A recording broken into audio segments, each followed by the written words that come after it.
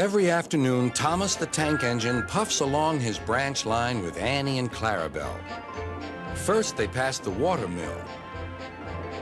Next, they come to a big farm. Then, they can see a bridge with a village nestled either side of it. This is a special place. Whenever children hear Thomas coming along, they stand on the bridge waving until he is out of sight.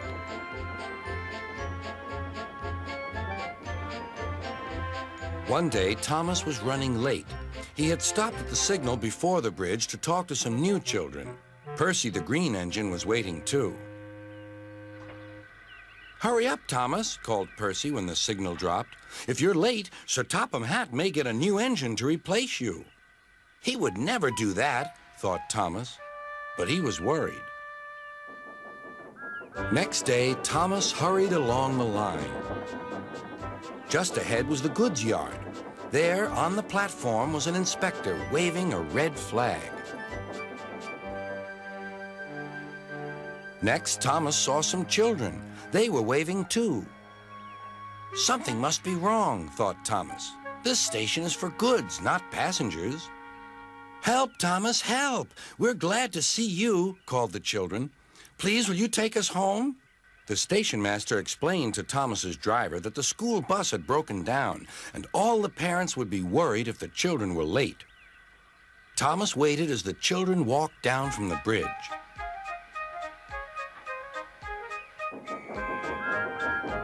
Then he took the children to the next station where Bertie was waiting to take them home. When Thomas finished his journey, he was very late. He was worried that Sir Topham Hatt might be cross with him. I warned Thomas, puffed Percy to James. He's been late one time too many. He'll be in trouble now. But next morning, when Thomas picked up his passengers, Sir Topham Hatt was nowhere to be seen.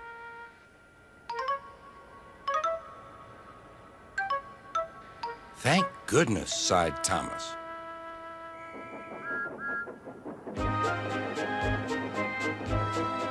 Thomas knows every part of his branch line.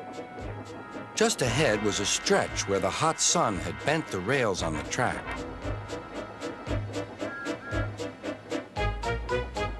Careful, Thomas, called his driver, but it was too late.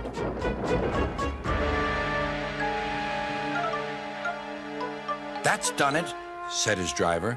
We shan't get any further today. But what about my passengers? asked Thomas. Don't worry, they'll be looked after, replied his driver. While workmen repaired the line, Thomas had to shunt freight cars in the yard. Bertie came to see him. I understand you need my help again. Yes, Bertie, replied Thomas sadly. I can't run without my rails. Bertie set off to collect Thomas's passengers.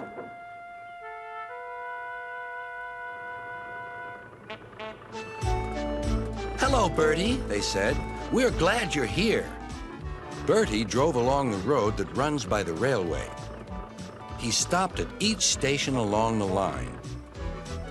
Sometimes he stopped between stations to let people off closer to their homes. Thomas felt miserable. I've lost my passengers to Bertie. They'll like him better than me. Sir Topham Hatt arrived. Your branch line is repaired. I'm going to change your timetable so that you and Bertie can work together more. When Thomas reached the station, there to his relief were all his passengers. Bertie is a good bus, but we missed our train rides with you, they said. Later, Thomas spoke to Bertie. Thank you for looking after my passengers. That's all right, Thomas. I'd like to make new friends, but I'm glad to share them with you. You're a good friend indeed, replied Thomas, and always will be.